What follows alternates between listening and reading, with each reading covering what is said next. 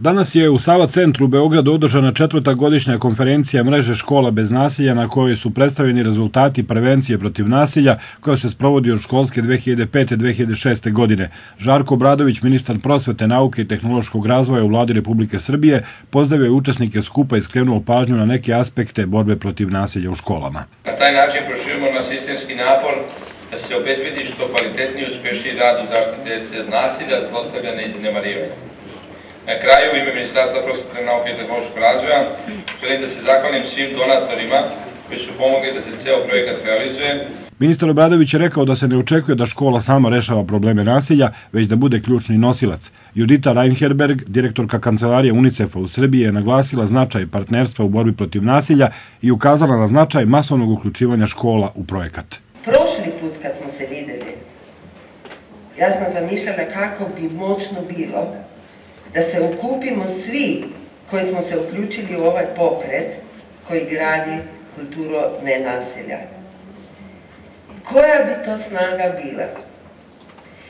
Zamislite sada tih 251 školu o kojima je gospodin ministre govorio, tih 17.000 prosvetnih radnika, tih 220.000 uh, učenika, pa njihovih roditelja, pa mentore, pa saradnike, pa partnere. Sada ne bi nam bio dovoljan više nijedan veliki stadion. Za malo više od godinu dana iz klupa u 54 osnovne škole izaći će đaci koji su celo osnovno školovanje proveli uz realizaciju projekta prevencije nasilja.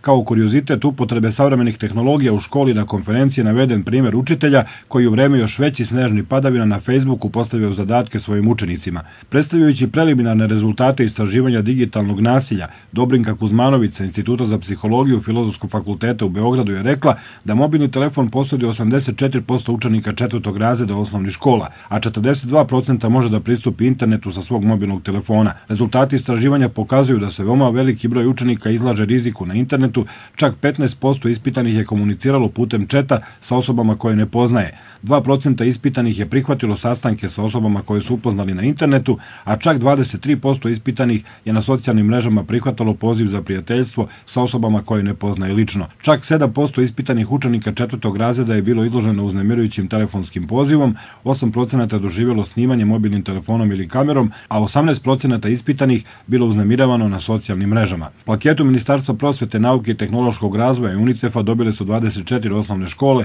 a među njima i škola Simeona Ranicki iz Stare Pazove. Slađana Bursać, direktorka ove škole, je u izjavi za radio televiziju Stara Pazova rekla. Ono što nam pomaže tokom ovog programa je da protokol koji postoji i koji obavezi da se poštuje od strane Ministarstva prosvete, protokol o zaštiti dece bez nasilja, putem ovog projekta nama je puno pomognuto da mi na najbolji način pomognemo, otkrijemo, primetimo i reagujemo na sve oblike nasilja kako u školi, tako da uputimo i roditelje da znaju šta je to nasilje i koji oblici nasilja postoje.